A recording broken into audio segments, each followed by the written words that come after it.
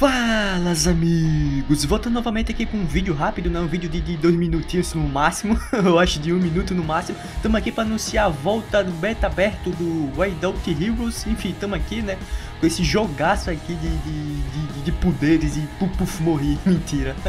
Enfim, tô aqui com esse jogaço aqui que vocês curtiram pra caraca, né, tá aqui de volta, o beta aberto dele vai abrir no dia 21, ou seja, amanhã, às 23 horas, 11 horas da noite, hein? Pra quem ficar acordado até essa hora, vai ter aí, vai estar tá aberto aí pra jogar, vai ser aberto aqui na América Latina Servidor SA, rapaz, Sul América, aqui pra América Latina, enfim.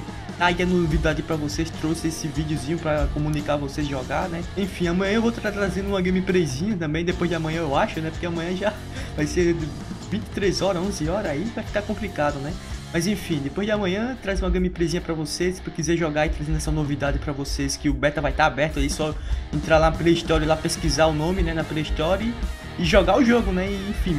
E foi esse vídeo, menino, de pra vocês, trazendo a novidade? Enfim, tá aí a notícia pra vocês, é que o jogo vai abrir, o beta vai ficar aberto pra todos nós jogar na Play Store, né, o jogo. Chegar na Play Store e baixar o jogo, né, ou você já tem baixado, que tinha ele instalado já da do tempo aberto, ele ficou só um tempinho, né, aberto, ficou do dia 1 dia 8 ao dia 20, 20, eu acho, 28 dos meses passados aí, agora tá voltando no novo. Eu acho que esse, esse beta aberto só vai estar tá aberto só até o final do mês, hein? Só 10 dias só de beta aberto, porque ele vai lançar no início de maio, né? Não, não, tem, não tem como ele ficar aberto mais que isso. Enfim, esse é o vídeo, então é isso aí.